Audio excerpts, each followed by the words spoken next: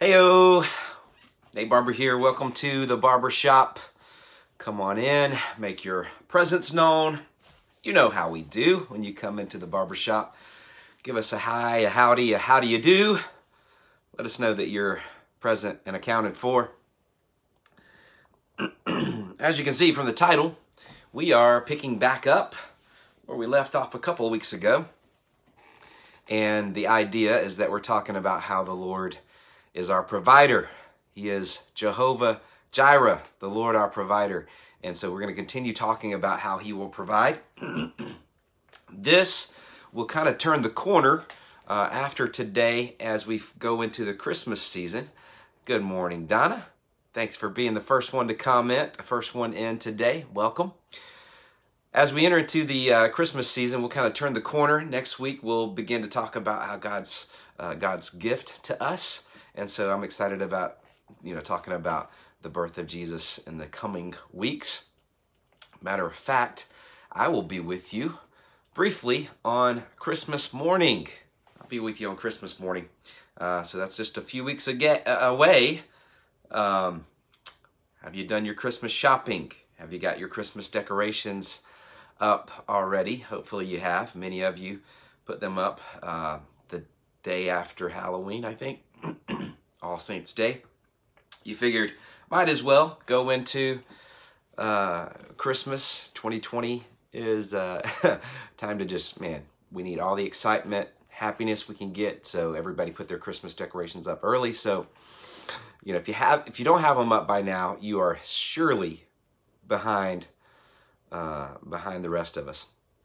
Good morning, Mom. Good morning, Kiki. Good morning, Scott, Andrea, Chelsea, Christian.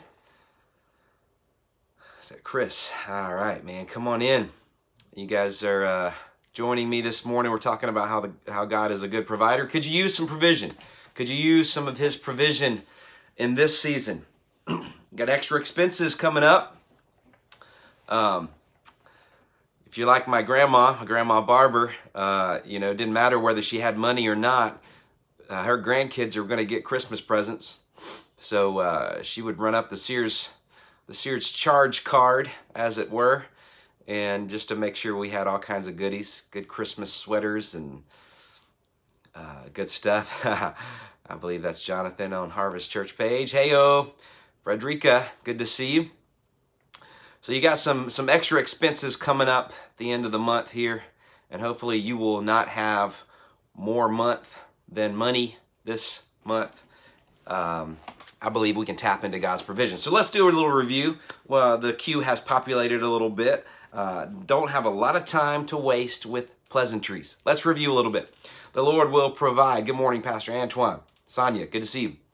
A couple weeks ago, maybe a month ago, we started talking about the Lord's provision in the way of Abraham and Isaac. You remember that, how the Lord had asked Abraham to sacrifice his son Isaac, and he took him up on the mountain, and uh, as he lifted up his hand to slay his son, the angel of the Lord stopped him and uh, said, you know, because I see that you have not withheld your only son, um, you know, you're going to be, you're going you're to have a lineage that will be a, a bless. You're blessed to be a blessing. You're going to have a lineage that will, um, you're going to have an inheritance. All of these things, and I'm taking, I'm probably combining a bunch of different chapters there. But you get the gist. And the idea was that when he looked up, there was a, a ram caught in the thicket, and Abraham said, "The Lord will provide." He named the place after the Lord's provision.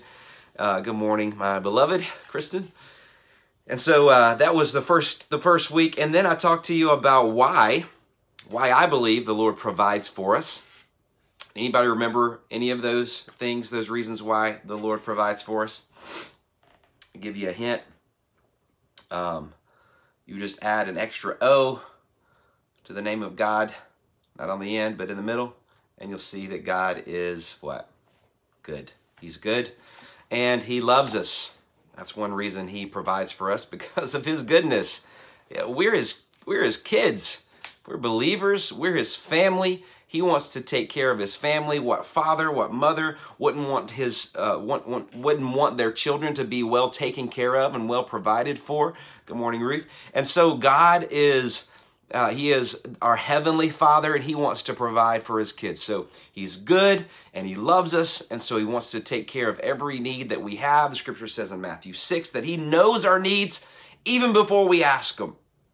So why should we worry? Why should we fret? Why should we be concerned about tomorrow's needs? We should be concerned about the Lord. He has provided our daily bread and He's providing for us every single day because He's good, because He loves us. Good morning, Sally. All right, may seem a little repetitive.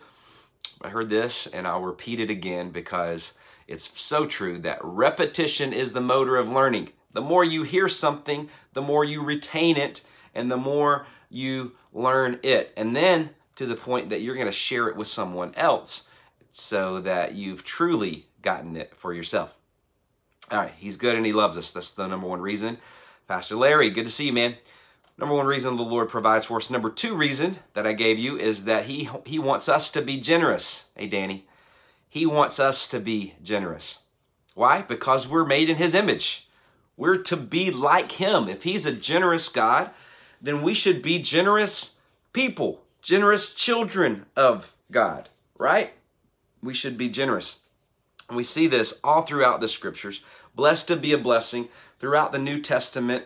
We read to you a couple of weeks ago about the, the church at Macedonia that even though they were experiencing deep famine and, and, and desperation in their own uh, in their own city, in their own region, they took up an offering for the church.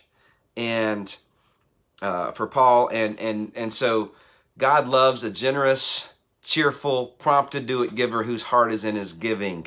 That's Second Corinthians chapter nine. Good morning, PK. Uh, good morning, folks. As you're coming in, sorry I missed a few. Hey, hey, hey, hey, hey. Good morning, Deborah. There we go. Yes, Fredna, how you doing today? So, he's good. He loves us. He wants us to be generous. And so, we should be looking we should be looking for opportunities to be generous, opportunities to be a blessing, shouldn't we? And I believe that there's three ways, three types, three three ways that he wants us to to give. Um, what is our response? And this is really what it is. This is our response to God's goodness and His love for us is generosity. And we talked about this last week uh, over Thanksgiving that a gener a grateful heart, excuse me, a grateful heart is a generous heart. You remember that? That when we're grateful, when we've received what the Lord has done for us, it's just a natural byproduct of that gratefulness that we are generous. We receive with one hand and we give with the other. And so, uh, again, we talked about this open hand principle. We live with an open hand, we give with an open hand. And uh, if we're if we're holding on tightly to what we have, then guess what? Our hand is closed. We can't receive what He has for us. And so we should live with an open hand so that whatever he puts into our hand can easily and just as quickly flow into someone else. We're blessed to be a blessing. All right, so what is our response to God's goodness? What is our response to God's love? What is our response to his rich generosity towards us? Number one, I believe this is a, a, a principle that's all throughout Scripture. I believe that we should tithe. All right, I believe that we should tithe. Uh, I don't believe it's a controversial topic. I believe it's for the believer, for the child of God, we should be giving 10% of our income. Malachi chapter 3, 10 through 12, bring all the tithes, he says, into the storehouse, so there will be enough food in my temple. If you do, says the Lord of heaven's armies, I will open the windows of heaven for you. I will pour out a blessing so great you won't have room enough to take it in. Try it, he says. Put me to the test. Your crops will be abundant, for I will guard them from insects and disease. Your grapes, your grapes will not fall from the vine before they are ripe, says the Lord of heaven's armies. Then all nations will call you blessed, for your land will be such a delight. So listen to this. You know, people think about, you know, when we talk about the tithe, we think and we they think there's there's this mentality that the church is trying to get something from you or that the Lord is trying to get something from you, like He's squeezing every ounce of you out that He can. It's not the point at all. The point here is the Lord's trying to get, not to get something from you, He's trying to get something to you.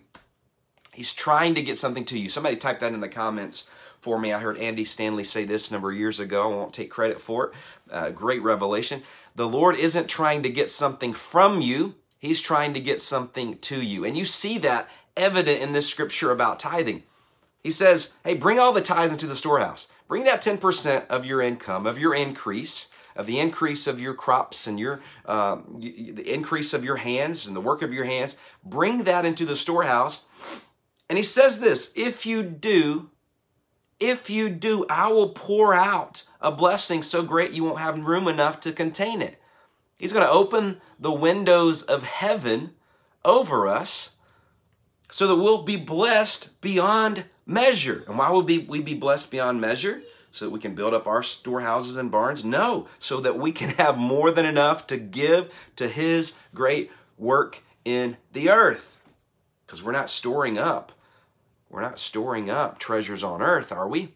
No, we're storing up treasures in heaven where Roth, moth, Roth, uh, yeah, get your Roth IRA, where moth and rust do not destroy. They don't destroy in heaven. So we are storing up treasures in heaven. And that's the thing. The Lord wants to try to get something to us. And so, by way of the tithe, the tithe isn't about the 10%. The tithe is about trust. Okay? Everybody, everybody type that in for me. You guys are doing great. You're typing in my, uh, my word there and, and share this out for somebody. They need to hear this. The tithe isn't about your tenth. The tithe is about your trust, okay? The tithe is about your trust. He wants you to trust Him. He wants you to trust Him to provide for you.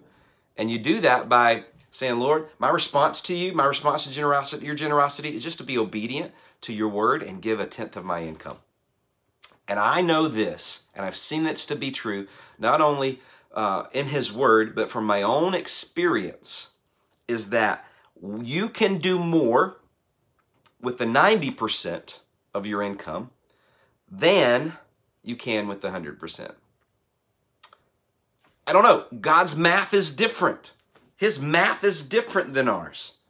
Can anybody here testify that to be true? Like, I don't know. Like, so many times we've, in our own life, decided to put God first. When the paycheck comes in, 10% right off the top to, uh, to God's work. All right? through the local church, okay, through our local church to the storehouse where you're being fed. And so we've committed to do that. And time after time, when things look like they're tight, look like we're not going to make it, he always comes through. And we have testimony after testimony. Hopefully, I'll have time to share that with you today. Ruth, come on, come on, ma'am. His math is different, and I'm thankful he doesn't do Common Core. Yes. um, but nonetheless, I don't understand his math, but it works. It works. And it works better for, and it works out for my good. Okay. So that's number one is that our response to God's goodness, his love, and his generosity towards us is that we tithe. That's, that's it. It's tithe. that's right. Number two, we give over and above. Now, I'm, I'm talking about generosity here, okay? So the tithe is there. The tithe's a given, okay? The, the, the tithe is unquestionable, okay? It's, it's uh, non-debatable in our house. The tithe, it's there, right? Yeah, the tithe is already in our paychecks. It's up to us to give it. That's right, Sally. So the second thing, though, is to give over and above. And this is where it gets exciting, okay? The tithe, it's about my trust. It's about me trusting that He's going to continue to provide, that I can do more with the 90 than I can with the 100. Over and above, listen to this here, okay? Uh, one of my favorite passages in all of Scripture is 1 Timothy chapter 6, 17 through 19. All right? I'm going to read the New Living. Teach those who are rich in this world, whew, teach those who are rich in this world not to be proud and not to trust in what? In their money don't trust in their money, but, or, or which is so unreliable. And that's a, a number one reason why we shouldn't trust in our money because it's unreliable. Teach them not to trust in their money, which is so unreliable. Their trust should be in God, who richly, again, the, the flip side of this is God's trying to get something to you, who richly, who richly gives us all we need for our enjoyment. He's not trying to take from you. He's not trying to steal joy from you. He's not trying to make you do without. He richly gives us all we need for our enjoyment. Tell them to use their money to do good. They should be rich in good works and generous to those in need, always being ready to share with others. By doing this, they will be storing up their treasure as a good foundation for the future so, they, so that they may experience true life. Over and above the tithe. So even beyond the 10%, he wants us to be ready, to be generous on every occasion, to share with others who are in need. So that means that not only do I bring the tithe to the storehouse, to my church, but I should have an over and above fund. All right, if you're a Dave Ramsey person, put a little extra cash in an envelope that's not for you, but title it over and above. Okay, if you've got to budget it out, whatever. Over and above so that you're ready when the Lord prompts you to give to that person in need. And this is exciting, you guys. This is the exciting part. I've been the recipient of people's over and, uh, over and above generosity. I've also seen God's provision in the way of uh, giving over and above. Here's the deal. I want to share a story with you. Early on, uh, uh, my first real kind of full-time job in ministry at, uh, at Good News. Out of, out of college, I went to uh, North Greenville College, graduated with a degree in Christian Studies. Immediately out of college in, in May of 2002, I went to work for Good News Church in Augusta, Georgia, as their youth pastor, and uh, you know, all kind wore all kinds of hats there, and grew in all kinds of ways. So grateful for my time there at Good News Church. Um, many many of our Good News folks are are watching today, so thank you for for tuning in, and a, a special welcome to you. One Sunday morning, I am uh, in service there, and tell me uh, if this rings true for you, if you've ever had this happen to you. But I'm sitting in service, and it's time for offering. Um, I had already given my tithe for that whatever two week paycheck period. Already given my tithe. All right, so that's a given. Again, the tithe is to, for us. It's it's non debatable. It's it's a done deal. Comes right off the top. Already given the tithe. But you know what? The Lord, the Holy Spirit began prompting me a little bit. And uh, he prompted me to give a $100 extra, over and above, a $100 over and above. Have you ever been here? Has the Lord ever prompted you in your heart to give more than you were expecting to give on, a, on any given Sunday or Wednesday or any other day for that matter? Have you ever been there? Can I get a witness? So he prompts me to give $100.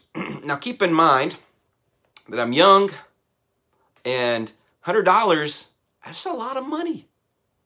$100, to me, $100 is still a lot of money today in 2020. In 2002, how many of you know $100, it, it, uh, it seemed to be even more money back then. Uh, I don't want to be, uh, you know, kind of like, oh, back in my day kind of thing hundred dollars used to, you know, Coke didn't cost five cents or anything like that. But the thing is, it was still a lot of money, and so to me, you gotta you've gotta answer that question: Am I going to obey? Am I going to be obedient to this prompting of the Lord to give over and above? I've already given, God, I've already given. But keep this in mind. You got to understand, He's not trying to get something from you. He doesn't want your money. What does He want? He wants your trust. He wants your trust. Somebody type that in the comments for me. He doesn't want my money. He wants my trust. He doesn't want my money. He wants my trust. That's right, Deborah. You already got that in there. He wants us to trust him. So, what do I do? Well, I like to say that I'm obedient every time. I'm not obedient every time instantly, but this time I got it right. Okay? So I write the check, $100, put it in the offering. uh, a little reluctantly, I might say. Uh, again, that's a lot of money.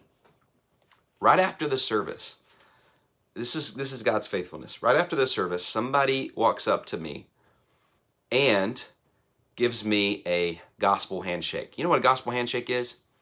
Gospel handshake uh, is is when, uh, and we call it a gospel handshake because it's good news when that person shakes your hand, but they've got like a little secret stash of cash right on the inside of their palm. and they and they shake your hand and then there's that slip that exchange of money that they don't want anybody to see you know kind of under the table. Uh, gospel good news handshake. And that was certainly good news to me so i'm like oh god bless you. Thank you so much and and stick the money in my pocket right because you got to be discreet you got to be discreet about that right so stick it in the pocket i'm like oh man that's that's so cool man just god god's awesome get in the car getting ready to go home, go to lunch, whatever. And I remember I've got this gospel handshake money in my pocket. So I reach in there and I pull it out. Guess how how much it was? Just guess. Somebody somebody throw it in there. I'll give you time. Single bill, one single bill. You guys guess how much how much money how much money would be nice for you in a gospel handshake? But how much money did I get that day in that gospel handshake? let's see it. You might want to put a dollar sign um, emoji. Ah, winner, winner, chicken dinner. Mom, Sally, $100. $100. Exactly. You guys are tracking with me. And to me, again, it wasn't about the money. It was about, that's right, you guys are with me. A $100 bill, you guys. A fresh Hondo, a Benjamin, right there in that gospel handshake, and it was me. I pulled that out, man. I immediately tears start coming down my my face, and it was one of those things that that God was saying, you know what? I'm worthy of your trust. I am faithful. You can trust me. When I prompt you to give, you won't do without. Woo! Come on, somebody. You're when I prompt you to give, you're not gonna do without. You're not gonna do without. He's not trying to get something from you. I'm to hammer this a little bit. he's not trying to get something from you. He's trying to get something to you. All right, so that's over and above. All right. You know what? I would love to be a, a reverse tither. You know what I'm talking about? A reverse tither is one who gives 90% and keeps 10%. Come on. Would that be amazing? That would be amazing. Lord, help me get there. That would be incredible. But you can inch your way up there by giving over and above. All right. The last one, okay? The last one. We talked about the tithe. We talked about over and above. if you're with me, uh, stay with me, okay? The third one is this. It's called extravagant generosity. Type that in for me. Extravagant generosity. We're getting radical here, you guys. All right. The, the tithe is about your trust. Over and above is about your trust and, and about Him getting more to you so that He can give more through you. All right? But extravagant generosity, whew, extravagant generosity. Let's talk about this for a minute. And this is this is how this is where the the early church was built on extravagant generosity, guys. Extravagant. This early church was built on this. Acts chapter 4, um, verse 32. And I'm reading from a new Bible today give a shout out to my Nini and Papa who gifted this to me. And y'all pray for my family because um, Nini and Papa just moved to Martha Franks assisted living facility. And so it's been a difficult season for, for my family. But um, man, so grateful for that legacy of faith in my family. And uh, this was a Bible that they had, uh, one of their Bibles, and it has been gifted to me. So I'm going to read out, out of it today and try not to cry. Acts chapter 4.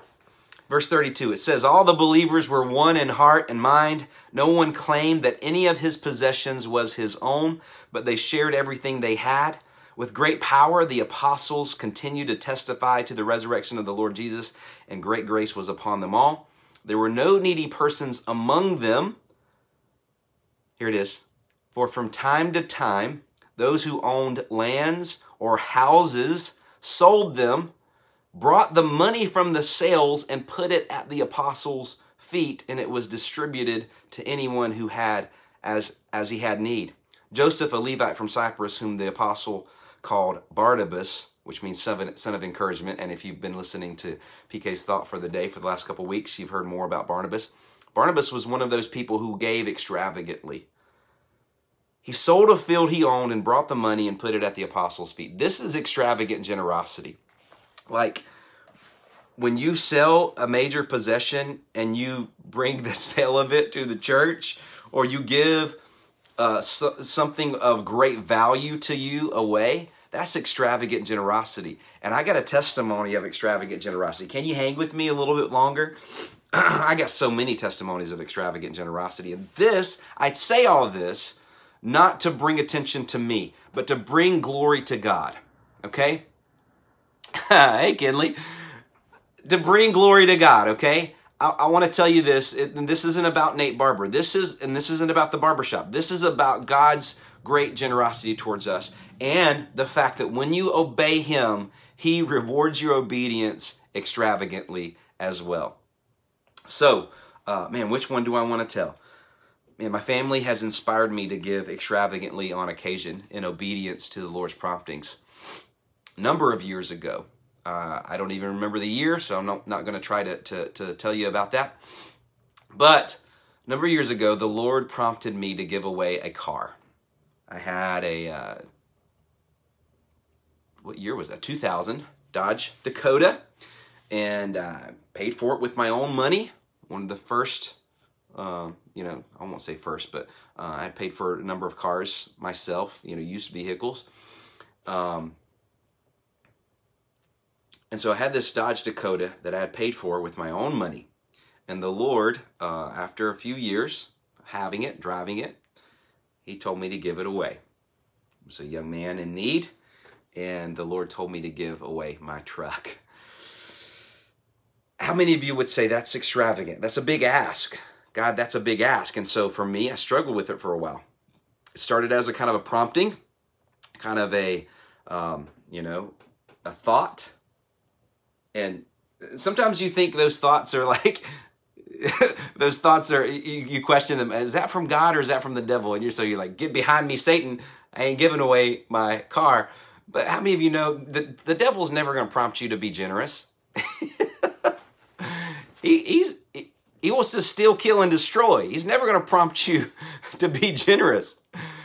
And god said yeah did god really say? Exactly. Did god really say give away your truck that's exactly what he would do. He would try to talk you out of it. Well, it was a good four months before, it was a good four months before I, I was obedient to that. And the, the, the kicker, the, the thing that prompted me over the top was I actually told my wife about it. Kristen. I told my beloved wife about it, and she says, if the Lord told you to do something, what are you waiting for? you need, you guys need a spouse like that you guys need a spouse that would confirm the word of the Lord to you and say, What are you waiting on? Do it.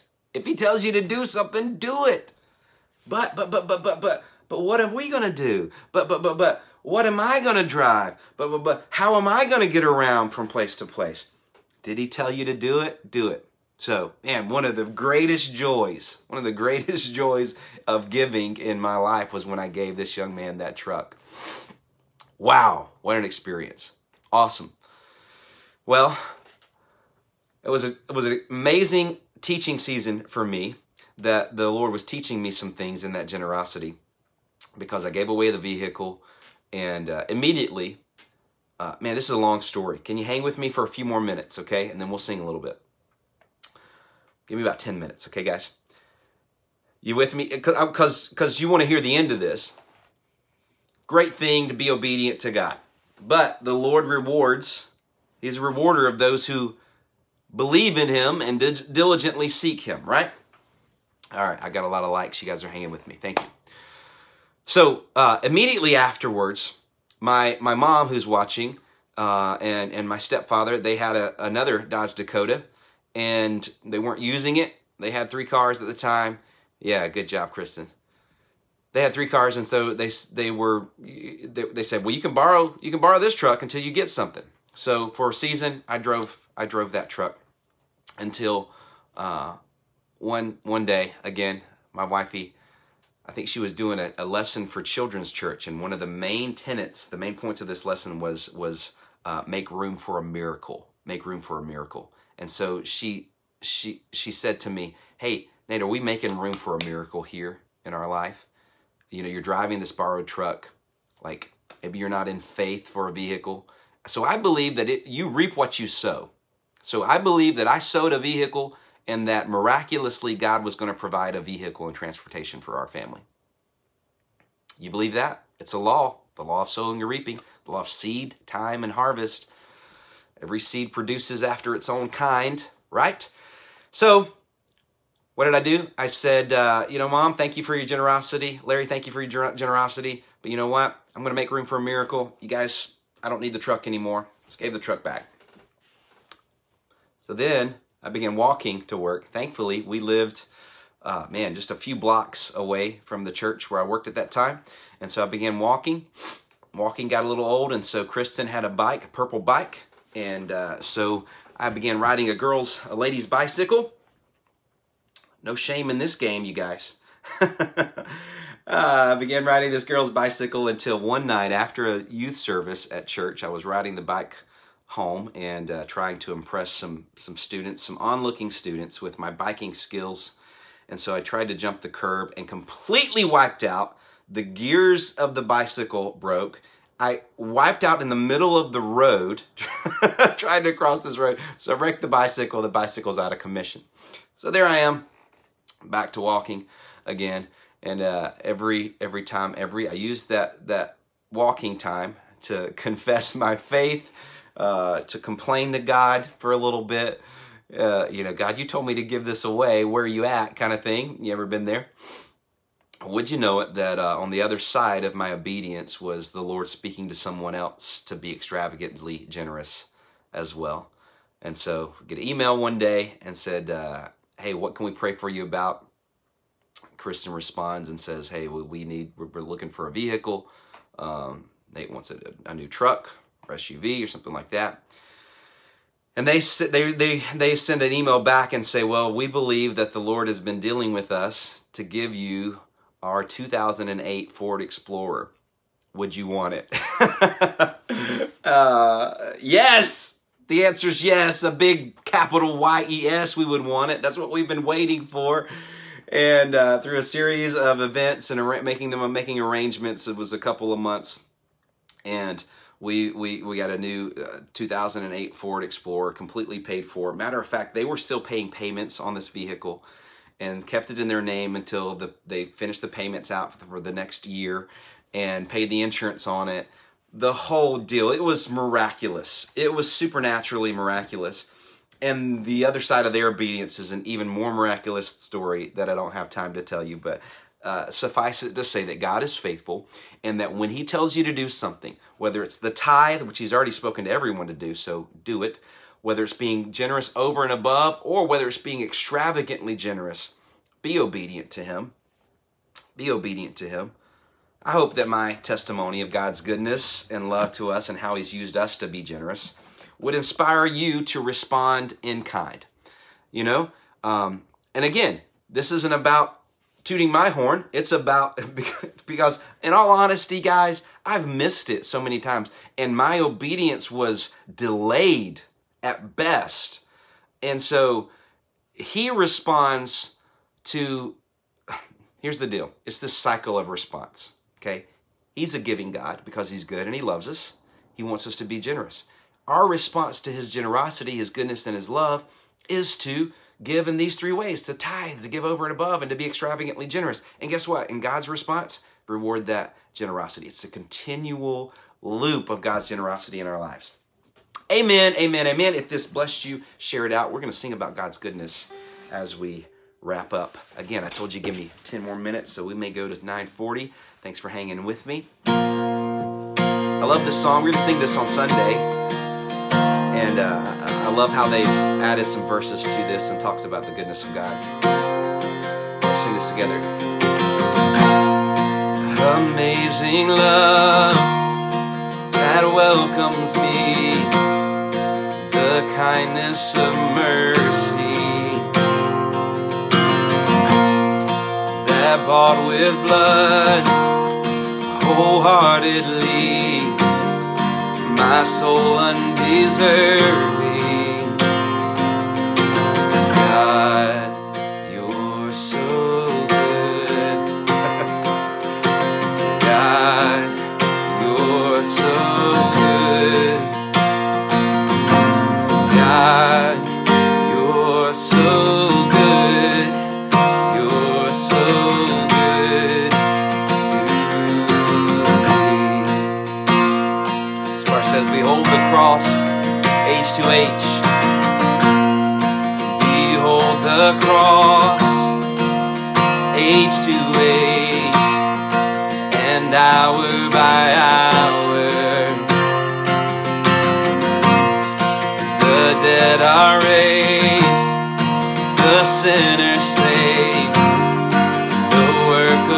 of power.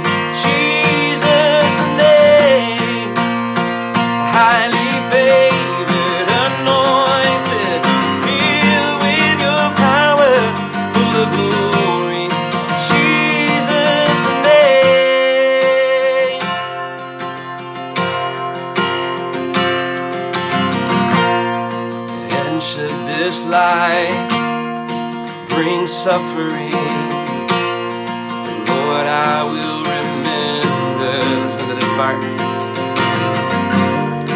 What Calvary has bought for me, both now and forever.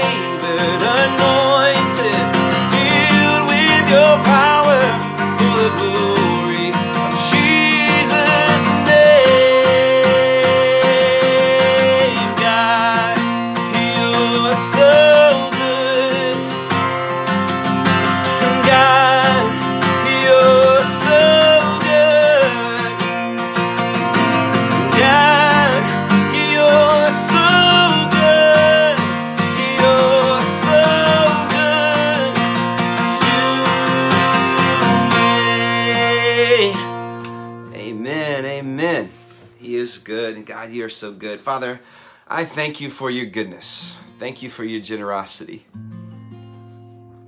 Thank you for how you've blessed us, how you favored us. Oh, if you didn't give us anything but your son, you gave us your very, best.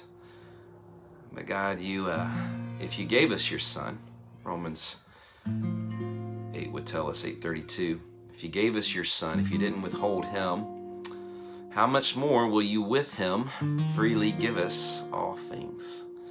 And so, Father, I thank you for your rich generosity towards us and your son towards us in your many blessings of uh, material things.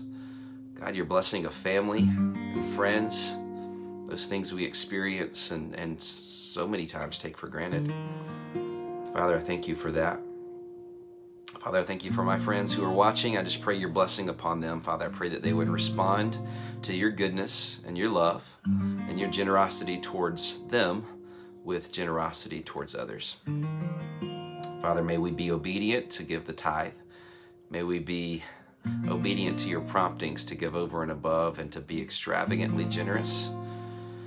And Father, all in all, it's about reaching people. It's about bringing more people into your family. And so, Father, we pray for those who do not yet know you. We pray that they would open their eyes to see, God, that you would reveal yourself as Father, as Creator, as Savior, and as Lord to those folks. Even now, there, there may be some who are watching who have yet to call upon the name of Jesus. And so the scripture says that if you call upon the name of the Lord, you shall be saved.